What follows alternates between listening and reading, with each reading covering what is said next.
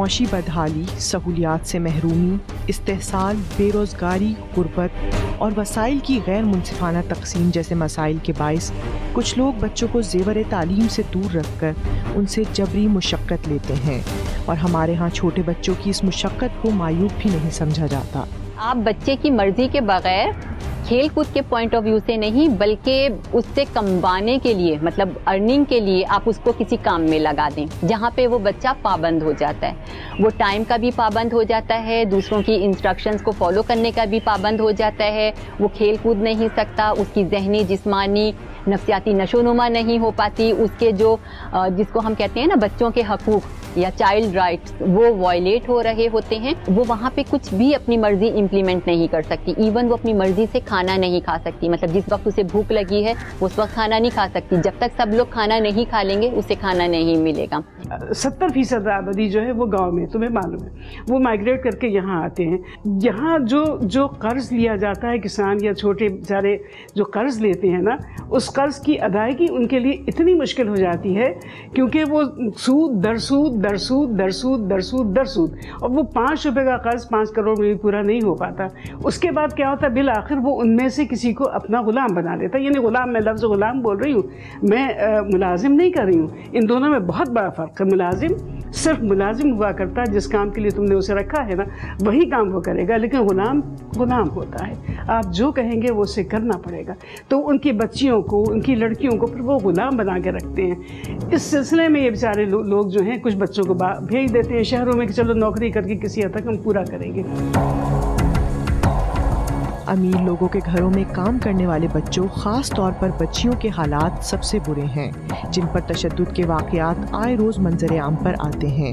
एक ठेकेदार अपने गाँव, अपने इलाके की बच्चियों को लाकर ठेके के सिस्टम के तहत लमसम पैसे तय करके मालकान के सुपुर्द कर देते हैं कि रखें। बहुत से अच्छे लोग भी होते हैं जो अपनी बेटियों की तरह उनको रखते हैं और उनको अपनी बेटियों की तरह पालते हैं। लेकिन ऐसा भी देखा गया कि फिर उन बच्चियों के साथ ज़्यादती हुई काम ना करने पर, क्योंकि उनका, उनके लिए एक बल्क अमाउंट ऑलरेडी पेड हो चुका होता है। और फिर उनके साथ कुछ वाक़ रिपोर्ट भी हुए। लेकिन इसमें आप इस तरह से अंदाज़ा लगाएँ कि हमारी अदलिया और हमारी पुलिस, उसने फौरी तौर पे एक्शन लिया है और वो कितना बड़ा आदमी भी क्यों ना हो, उसके खिलाफ कार्रवाई हुई है। और उन्हें सज़ाएँ भी मिली हैं जो ऑन रिकॉर्ड है। मासूम बच्ची जब हालात से मुकाबला करने के लिए निकलती है तो यकीनन ये दिन उनके हंसने खेलने के होते हैं। मगर वो अपने घर का चूल्हा जलाने की खातिर किसी और के घर का चूल्हा जला रही होती है। नौ साल के। अभी जो पहले आएगी ना दो महीने हो जाएँगे। दो हज़ार भी देते हैं और राशन पानी भी देते हैं। सिपारा पढ़ती हूँ टीचर आती है पढ़ाने के लिए ना शानजा और मारू को तो मुझे भी पढ़ाती है। जब जो भी उसको प्यार करते हैं मुझे भी वही देते हैं। वो बोलते, तुम वो खा रहे हो तो तुम मुझे भी बोलते आके तुम भी हमारे साथ खा लो। मैं जगह जाती थी ना, ये नहीं काम करती थी एक घर पे ही रुकती थी। फिर घर पे कोई नहीं होता था। फिर इधर आ जाती है, फिर इधर रुक जाती है, फिर मैं भी काम पे घर चली जाती हूँ, ये भी शाम को आ जाती है घर पे। बड़ी मजबूरी होती है तो बंदा निकलता है ना, उधर काम कोई नहीं था। छः माशाल्लाह बच्चे थे, नहीं होता था गुजारा। फिर मैं क्या, चलो मियाँ कुछ करेगा, कुछ मैं करूँगी, यहाँ पे बच्चे तो बड़े हो जाएँगे। हमारे यहाँ कभी ऐसा नहीं होता कि हम लोग उनको मतलब इस तरह से कि नहीं जी, इस प्लेट को हाथ मत लगाना, इस ग्लास में पानी नहीं पीना, ऐसा नहीं है। क्योंकि देखिए, वो भी बच्चियाँ हैं। अब ये हमारा फ़र्ज़ है कि हम उनको ही चेक करें कि उन्होंने माउथ वॉश किया, नहीं किया, वो नहाई, नहीं नहाई, उन्होंने साफ़ सुथरे कपड़े पहने, नहीं पहने। तो ये तो हमारी ड्यूटी है ना जब हम अपने बच्चों को कहते हैं हम उनको भी इसी तरह रखते। एम्प्लॉयमेंट ऑफ़ चिल्ड्रन एक्ट 1991 और एम्प्लॉयमेंट ऑफ़ चिल्ड्रन रूल्स 1995 जैसे एक्ट्स बच्चों के हालात और मामला को जबता अखलाक में लाते हैं मगर हमारे यहाँ इन कवानीन पर अमल दरामद नहीं होता। The Constitution of Pakistan article 11 ये तो ऑल ओवर दी पाकिस्तान हमारी इम्प्लीमेंट है। इसी की रोशनी में सिंध गवर्नमेंट ने भी बनाया 2010 में। वो भी अभी तक इंटैक्ट है और उसके तहत हमारी अथॉरिटी जो है, वो काम कर रही है। मुख्तलिफ़ शोबों में उसको इतनी वास्ट पावर है कि कहीं पर भी जाके, किसी जगह पर भी जाके वो इसके ऊपर कार्रवाई कर सकती हैं और इस कानून को लागू करवा सकती हैं। एमनेस्टी इंटरनेशनल की एक रिपोर्ट के मुताबिक 35 फ़ीसद घरेलू मुलाजमीन जिनमें छोटे बच्चे शामिल हैं तशद का निशाना बनते हैं। तो ये बात तो मालूम है मुझे कि ये सब कुछ होता है। मतलब जिस्मानी तौर पर मतलब मिसयूज़ हो रहा होता है, इस्तेसाल भी हो रहा होता है और मतलब इन लड़कियों की जो मासूमियत है उससे खेला जा रहा होता है। ये है मतलब आप इसको डिनाई नहीं कर सकते इस फैक्ट को।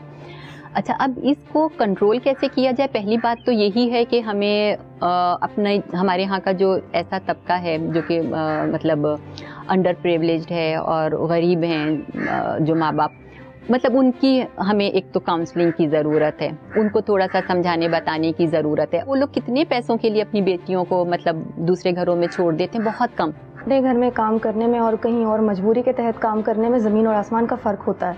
क्योंकि आप अपने घर में खुशी से काम कर रहे होते हैं, जबकि किसी और के घर में आप मजबूरी से काम कर रहे होते हैं। तो मेरा ये कहना है कि जस्ट आप मजबूरी के तहत अगर किसी से काम करवा रहे हैं तो उसका इस्तेसाल न किया जाए या उसकी इज़्ज़त को मजरू न किया जाए।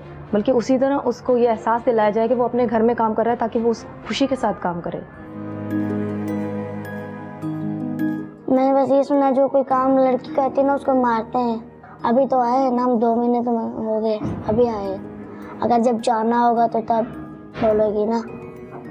बोलती हूँ, मैं कहीं जाना है, घूमने दिल करता है जो गाँव जाना है तो बोलते हैं, सही है। ज़रा सी गफलत, ज़रा सी उससे कोई कोताही हो गई, एक प्रेस टूट गई, या एक बर्तन गिर गया तो उसकी जगह उसको चाटे भी पड़ते हैं, उसकी महीने की तनख्वाह काट ली जाती है।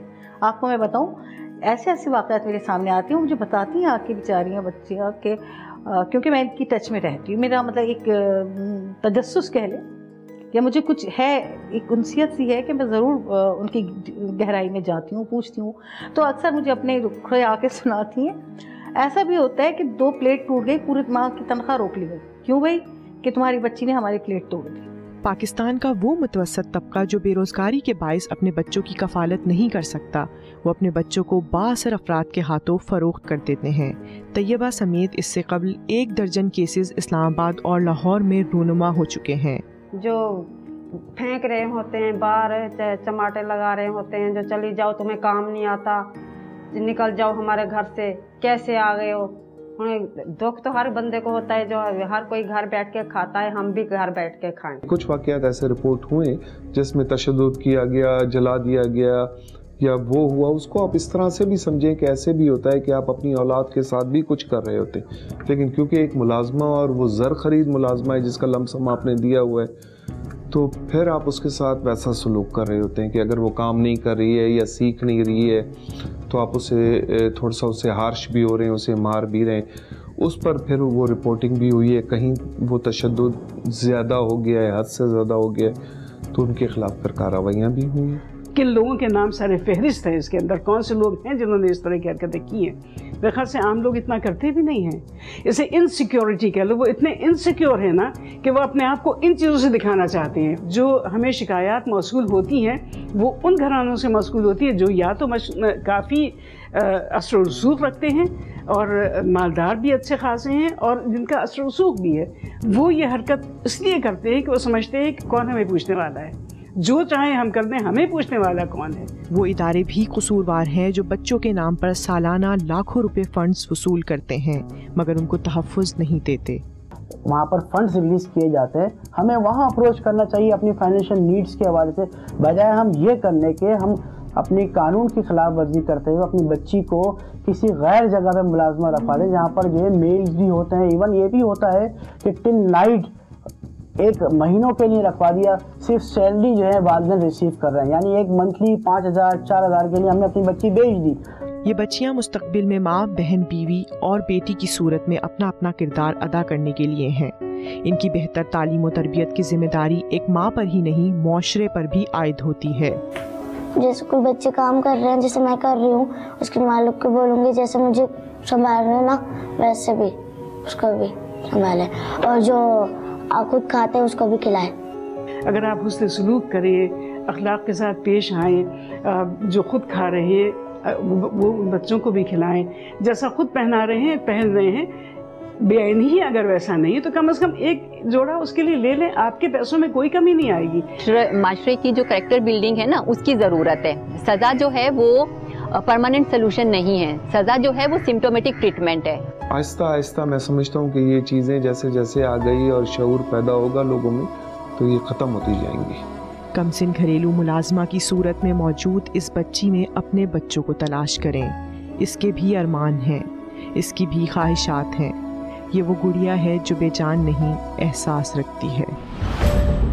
आगे देखिए।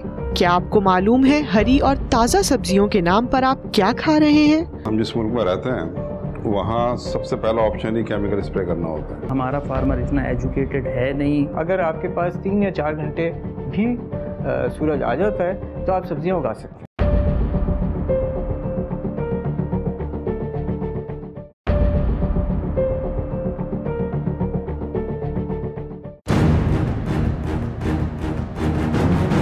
ताज़ा सब्जियों की जहरीली हकीकत। आखिर कहानी क्या है? एक इंकशाफ ये हुआ है कि कराची समेत मुल्क भर में सब्जियों की काश के लिए ऐसा आलूदा पानी इस्तेमाल हो रहा है, जिसमें जहरीली धातों के असरात मौजूद हैं और जो इंसान में मूजी बीमारियों का सबब बन रही हैं। पहले तो लोगों को ये बताइए खा क्या रहे क्योंकि हम जिस मुल्क में रहते हैं, वहाँ सबसे पहला ऑप्शन ही केमिकल स्प्रे करना होता है। जबकि महसूब दुनिया में लास्ट ऑप्शन होता है। और जब हम किसी क्रॉप को देखते हैं तो किसी दस स्प्रे हो रहे हैं, किसी बारह हो रहे हैं तो ये वो केमिकल हैं कि जो आप जब खाते हैं तो फिर वो जिसम में जाकर एक्सीट नहीं होता, खारिज नहीं होते, वो जमा होते हैं। जब एक लेवल से बढ़ जाता है, मखसूस लेवल से तो फिर उसके बाद kidney failure liver cancer cardiac arrest बहुत सारे पेशेंट्स हैं जो मुस्तकिल किडनी पेशेंट्स हैं हमारे पास लिवर प्रॉब्लम्स आ रही हैं ये सब इसी वजह से कि हम उन केमिकल ज़ाहिर है वो स्प्रे अभी जो हम फ़ील्ड घरों वगैरह में देख के आए तो उसमें तो इतना इस, इस कदर स्प्रे किया हुआ था कि लीफ उनके सफ़ेद हो रहे थे। इस कदर स्प्रे किया हुआ था तो वो हमें तो पता ही नहीं चलता कि वो कहाँ से चीज़ आ रही है और हम यूज़ कर रहे हैं। तो इससे बेहतर ये है कि हम अपनी एक्टिविटी भी है। ज़रात का मकसद असल में बढ़ती हुई आबादी के लिए गजाई ज़रूरियत का अहतमाम करना है मगर काबिल ज़रात ज़मीनें इस वक्त दुनिया की तेज़ी से इजाफा होती आबादी की ज़रूरियात पूरी करने में नाकाम है। दुनिया को छोड़ के सिर्फ़ पाकिस्तान को ले लें ठीक है? तो रिसेंट तारीख में क्या क्या बड़े वाक़ हुए हैं? उसमें आप देखिए कि 2010 में जो फ्लड आए थे, उसमें कितने गाँव और देहात और शहर, वो पानी के नीचे आ गए थे, ठीक है? अच्छा इसी तरह से फिर वही सैलाब जो है, वो 2011 में दोबारा रिपीट हुआ और सिंध में उस वक्त ज़्यादा रहा था, ठीक है? और ये इसलिए हुआ था कि अफ़गानिस्तान और सरहद और पंजाब इन इलाकों में अचानक इतनी बारिश हो गई जो कि कई महीनों में होती है, एक ही हफ़्ते में हो गई। इसी तरह से हमने देखा, तीन साल पहले हज़ार से ज़्यादा लोग मर गए थे हीट वेव के अंदर। तो ये वाले इस तरह के जो वाक़ात हैं, ये डायरेक्टली क्लाइमेट चेंज से रिलेटेड हैं कि दुनिया का ओवरऑल टेम्परेचर बढ़ गया है। तो किसी के पास हंड्रेड एकर्स ज़मीन है तो वो टेन एकर्स या ट्वेंटी एकर्स जो है, वो सो कर रहा होता है। उसमें कोई क्रॉप्स लगा रहा होता है, बाकी उसकी ज़मीनें खाली होती हैं। एक तो ये लेक ऑफ़ वाटर जैसे कि हम देख रहे हैं कि जी, ये तो हमारे साथ जो है ना बड़ी प्रॉब्लम आ गई है कि ये इसकी वजह से डे बाय डे जो है हमारी एग्रीकल्चर सेक्टर जो है वो कम होता जा रहा है। सब्जियों का लगाने वाला केमिकल इंजेक्शन हो या जहरीली खाद या फिर कीड़े मार अद्वियात, ये सब इंसानी जिस्म और दिमाग के लिए नुकसानदेह हैं। 19 से 20 परसेंट हमारा जीडीपी में कंट्रीब्यूशन भी है एग्रीकल्चर का। मैनेजमेंट का प्रॉब्लम है लैक ऑफ़ अवेयरनेस है फार्मर्स के अंदर। हमारा फार्मर इतना एजुकेटेड है नहीं। गवर्नमेंट खसूसी तौर पर इस पर तवज्जो दे, उसमें अवेयरनेस क्रिएट करे। जो इनपुट्स हैं हमारे लिए नुकसानदेह अगर उनके सही इस्तेमाल बता दिया जाए तो मैं समझता हूँ प्रोडक्शन भी बढ़ सकती है और ये दूसरे मसाइल हैं। जहरों वगैरह के इनसे भी, इन पर भी काबू पाया जा सकता है।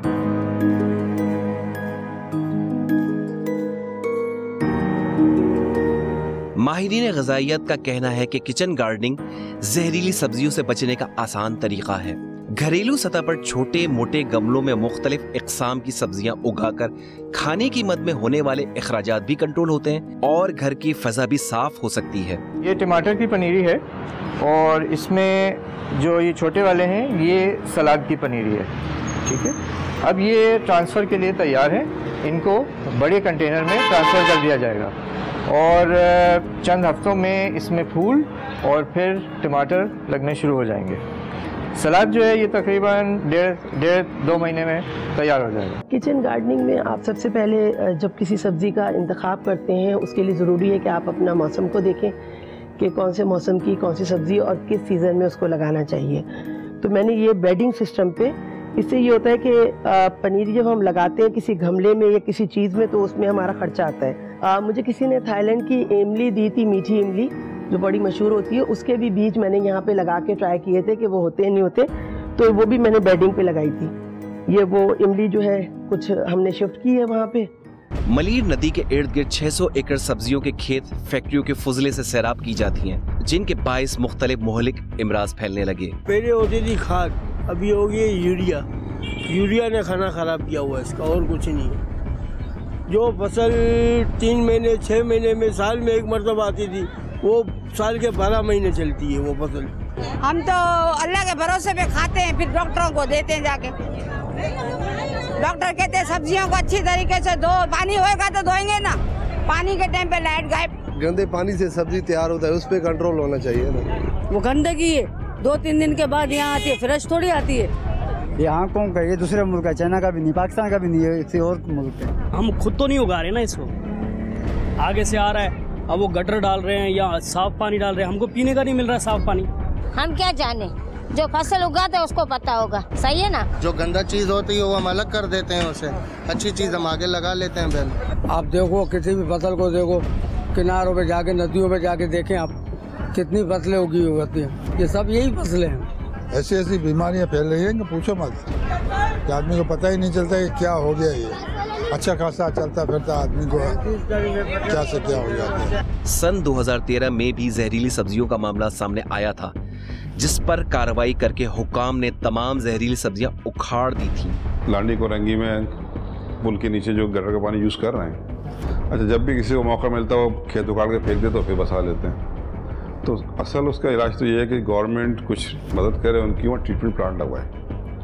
पूरी दुनिया में जो भी सीवरेज वाटर है, उसे रिसाइकिल करके यूज़ करते हैं। हमारे यहाँ उसको ऐसे यूज़ कर लेते हैं रिसाइकिल करने की जहमत नहीं करते। ये सब यूजेबल हो सकता है। कुछ ट्रीटमेंट से सारे इसमें टॉक्सिन निकल जाएँगे माइक्रो जो जरासीम मर जाएँगे यूज़ हो सकता है। आप थोड़ी इन्वेस्टमेंट करें, उनको पानी ट्रीट करके दें तो यही सब्ज़ी आपके लिए सेहतमंद हो जाएगी।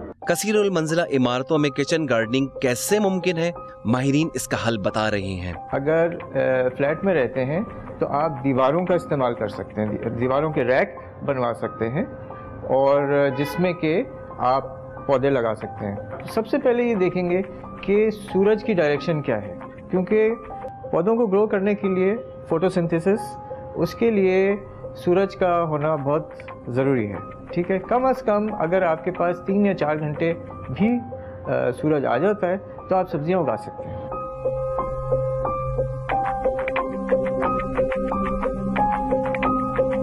घर में लगाने का तो मेरे नज़दीक ये है कि पेस्टिसाइड ज़ीरो कोई इस्तेमाल नहीं होना चाहिए। दूसरी बात रही खादों के इस्तेमाल की। खादों के इस्तेमाल में ये है कि केमिकल फर्टिलाइज़र को इस्तेमाल ना करें, जो आम तौर पे बाज़ार में दस्तियाब हैं, ये गोबर की खाद को आप इस्तेमाल करें।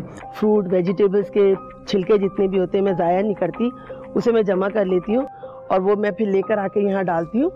इसके ऊपर अगर हम ये रोज़ाना डालें और थोड़ी सी मिट्टी इस पर डाल दें और गीला कर दें तो ये हमारी बेहतरीन खाद बन जाती है।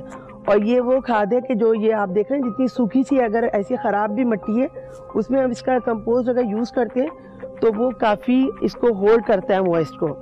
जितना धनिया, पुदीना, मिर्चें, टमाटर आम सब्ज़ियाँ हैं, या लौकी टीडा टाइप की चीज़ें, ये आराम से लगाई जा सकती हैं। मैं अपने घर में लगवाता हूँ आराम से हम वही इस्तेमाल करते हैं।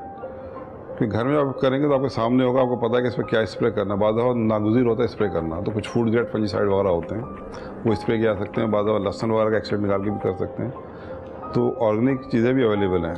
मफाद परस अफराद जहरीली सब्जियों की आड़ में जो दहशत गर्दी फैलाकर इंसानी जानों से खेल रहे हैं क्या उनको समझाने की ज़रूरत है?